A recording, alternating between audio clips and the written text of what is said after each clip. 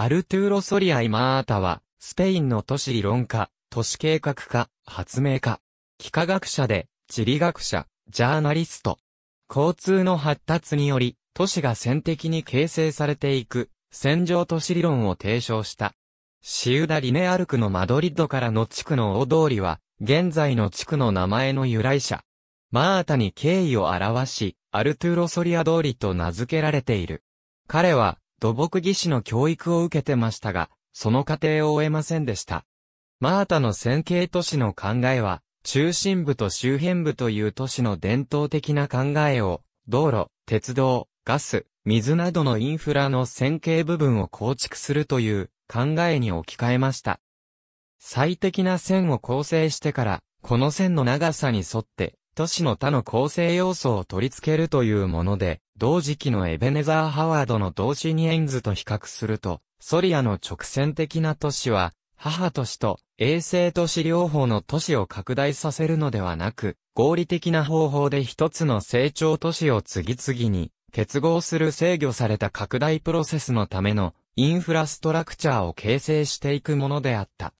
都市計画の世界に入るまでは、後に大臣となる数学者、ヌエル・バセラに指示し、しばらくは政治の世界に身を置いていた。その後、技術方面の学を収め、起業家になって、数多くの事業計画と発明に精を出す。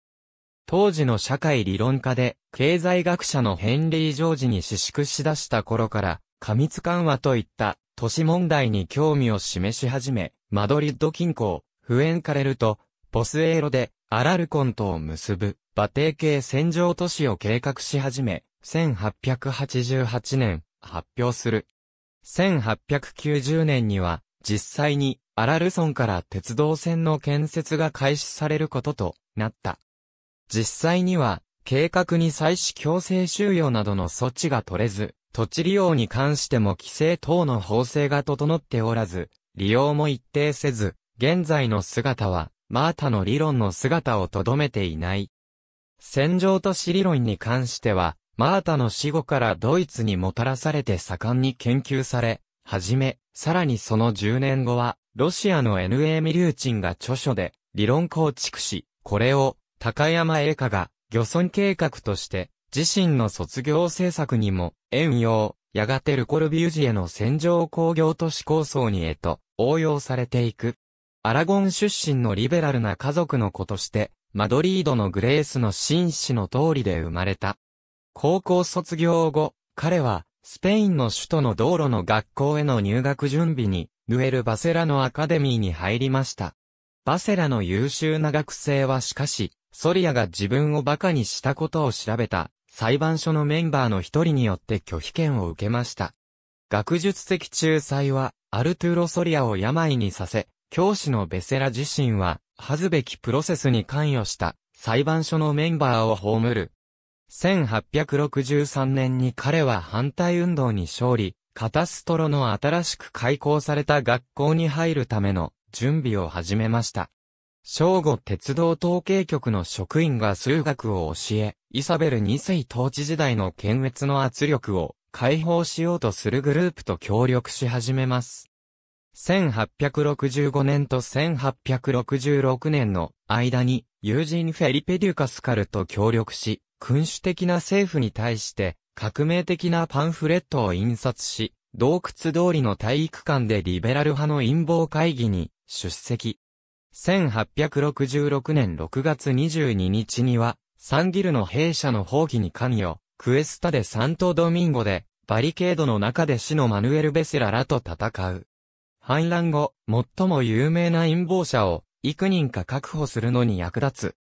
このロマンあふれるエピソードの後、彼はカタストロ卒業する準備に集中するためのインターンシップ先ナバルカルネロで連絡係として活動し続けるラグランジャに運命づけられるように暴走した革命的指導者からオステンド、パリ、ロンドンへの連絡を受ける。マドリードの家でマヌエル・ベセラの使用人の一人を届けた。1868年革命の勝利で、カタロニアの首都の内閣官房長官の地位でリエイダに、そして1869年には、オーレンセに派遣され、そこで彼はその年の10月2日に、連邦の暴動の反乱を鎮圧することができた。このため、イザベラの第十字架カトリックを叙勲されていますが、ソリアはそれを拒否しました。1870年3月27日、彼は、オレンセ・カララ・コルーニャの内政府に移転。この期間中、彼は、地石の角度測定の精度を向上させるために、セオドライトプリンターオートマティックと呼ばれる発明に、捧げられたパンフレットを発行しています。1871年に彼はプエルトリコ、上級市民政府の事務局員に任命され、そこでは、マヌエル・ベセラが尽力していた奴隷制度廃止に関する新しい法律の実施に、大使奴隷所有のクレオールと、その管理に対峙し、辞任を余儀なくされ、スペインに戻る。しかし、半島への新人は、1873年の春まで一人で、残り、プエルトリコ地区、ラ・ケブラディラのコルテスで代表者に任命後、1874年に、最初のスペイン統治の終わりに彼は、政治生活は放棄した。ソリアが、鉄道に抱いていた魅力は、彼が1886年まで特別な関心時から路面電車の会社を発足したとし、政治生活から引退した1873年から研究とアプリケーションへ心するように知るべびかれ、1876年にはソリアによって市場が提示され、1878年3月に登場したが、路面電車の夢の放棄はすでに働いていた、もう一つのプロジェクト開発に導かれてのこと、電話。ソリアは、アレクサンドル・グラハムベルの実験モデルの拡張と、改良から、当時のスペイン政府に、世界で、最初の電話網になっただろうという情報を要求した。このプロジェクトは、最初から官僚的遅れに直面し、その後、ソリアのような個人主義者、そして彼の有名な揺るぎない個人的なイデオロギーが、そのような有望で強力な器まで制限するだろうという疑念にまで直面した。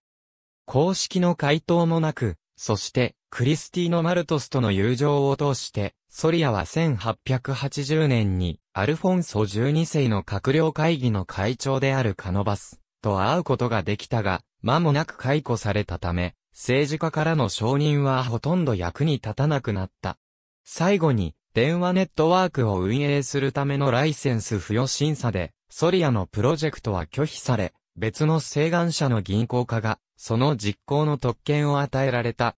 起業家と将来の都市計画者の無駄な抗議は、彼のプロジェクトへの高い偏見と、再び、エンジニアの一族のやばちさによって却下されました。選択したプロジェクトを組み立てようとする事故や欠陥が、最終的にその変更を引き起こし、かつその拒絶と忘れ物を引き起こすならば、それは誰にとっても慰めにもならない。その間、ムルシアで1879年の洪水結果を受けて、ソリアは緊急対策として洪水を制御するのに十分な時間、川、渓谷と通りの浸水を予想して、人々に警告を促すパンフレットを発行しました。この時はどうやら唯一の反応は、一般的公的からの無関心さだった。もう一つの発明は、機器の性質と印刷作業のアシスタントとして、トランシット角度のデータをタイポグラフィ文字で自動的に印刷する理論的な文字であった。ソリアは新聞 S、L プログレッソの株主であり共同研究者でもあり、科学作家として1882年から名を連ねる。1882年1月22日、コサスでマドリードと題された記事が出版され、彼の偉大な人生のプロジェクトである、リニアシティの発表の手紙を構成する最初のものとして考えられている。すべて詳細に直線の上に、所有者と女性が完璧、快適さ、富、健康、支持、共和国要するに、政府の形として、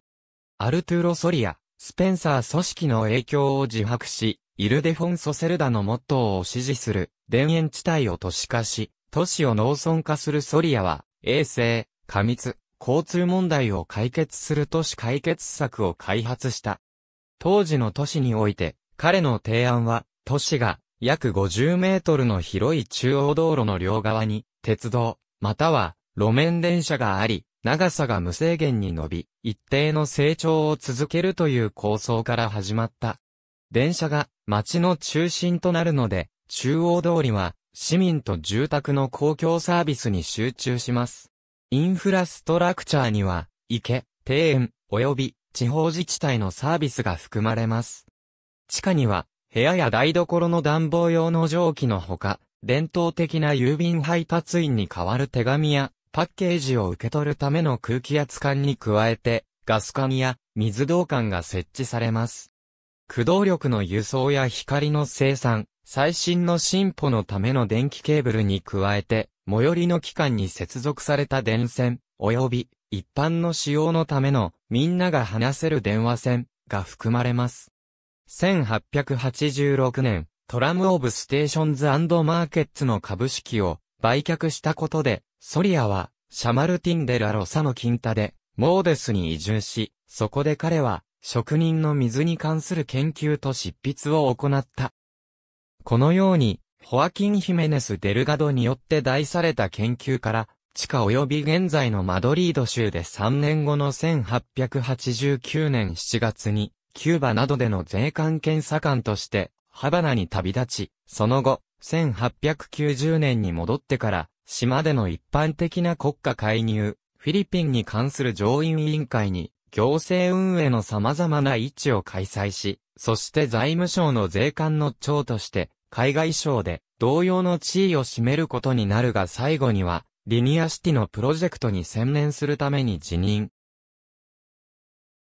マドリード周辺のすべてのロットは、アギオニストの目的で購入されています。誰も建てるつもりはありませんが、住宅がない時に、それを悪用する人口のニーズを予測するために、再販価格を上げることを計画していません。アルトロソリア1894年3月3日には、マドリレーニャ都市化会社を設立。ソリアは50歳で1920年11月に亡くなるまで代表を務めていた。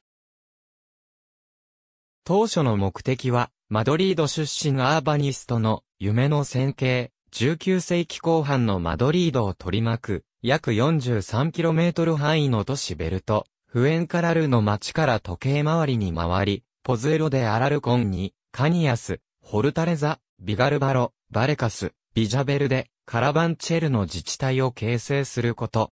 彼のプロジェクトを支持し認可してもらうために、ソリアは建築衛生学会に意見を求めましたが、良い返事を受けませんでした。地理学会はこの考えに反対し、王立医学アカデミーは棄権し、王立科学アカデミーはそれを支持しました。その部分については、開発省は特許を否定、マドリード市は、ミューティスを作成。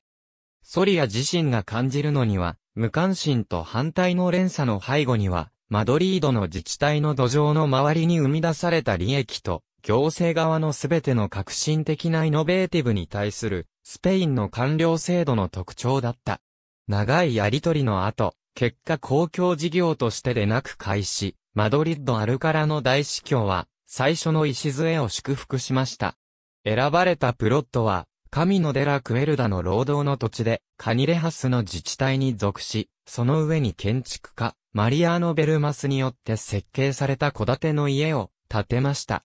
このように、将来のリニアシティの第一段階が始まりました。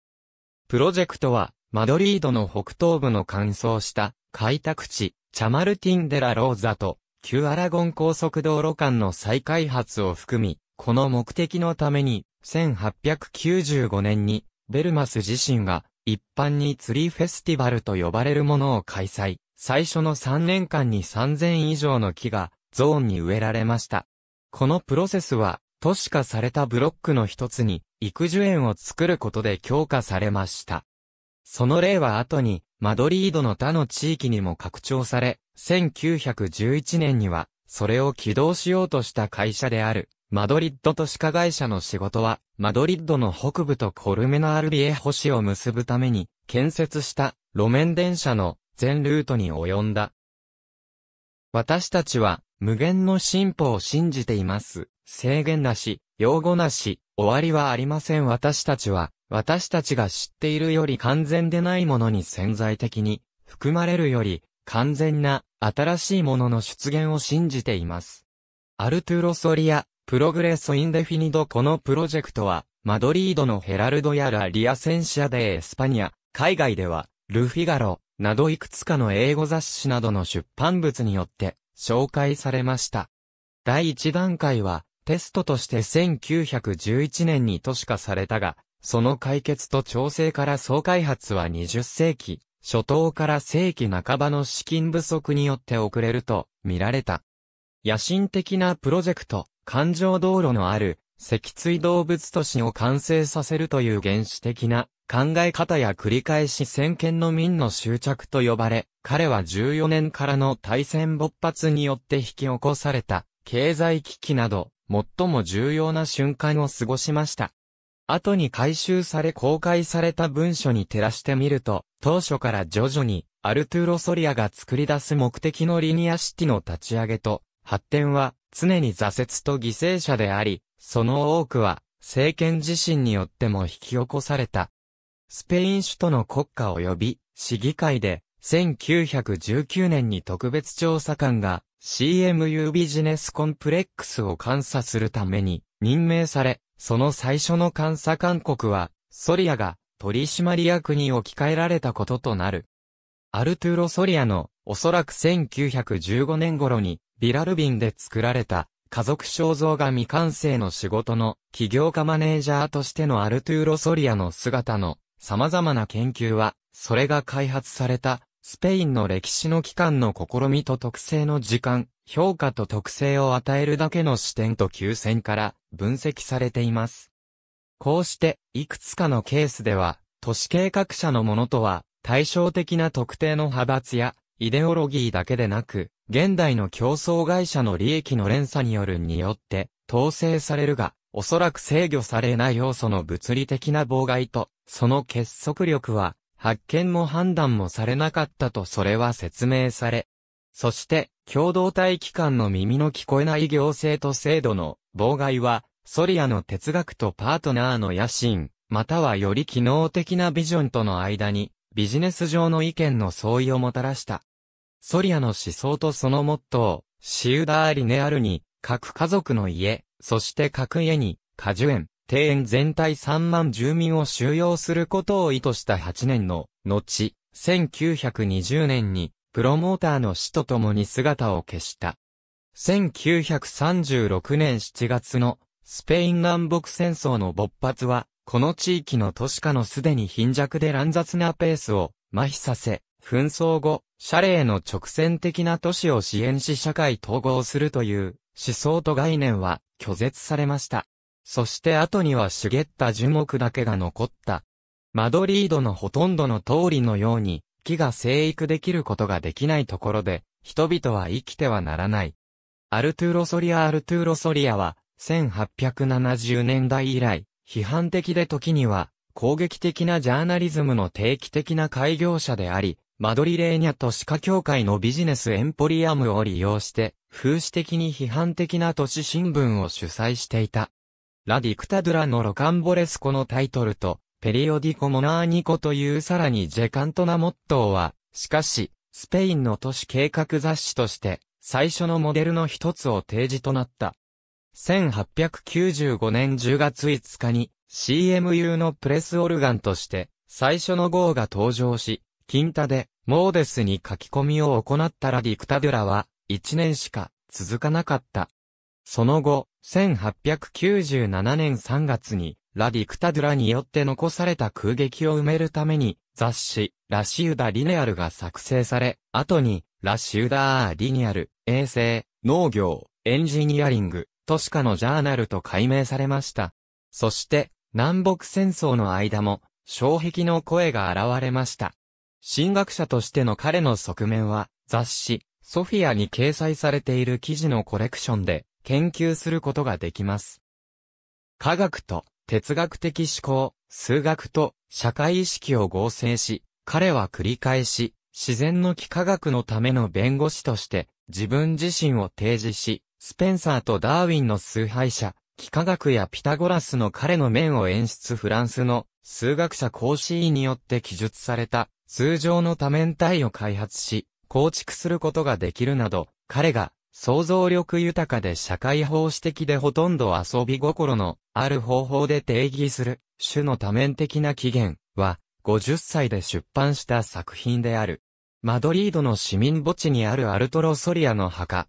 1920年に76歳で亡くなり、ニュースとして20の出版物にまとめられました。そのうちの何人かは、約2000人が彼の葬儀に出席し、棺がシウダリニアルからエリパまで運ばれ、そしてマドリッドの市民墓地に埋葬されたと報告しています。アルトゥーロ・ソリアの家系図では、妻ジュリア・エルナンデス・ルビン、子供であるルイス・アルトゥロがいる。他に、彼の多数の孫に加えて、マドリード州、ディプタシオン州及び、王国上院議員、並びにエミリオ及びカルロスがいる。戦場都市で、彼の名前を冠する通りに位置するアルトロソリアに、捧げられた像。ソフィアに掲載された、いくつかの記事。ありがとうございます。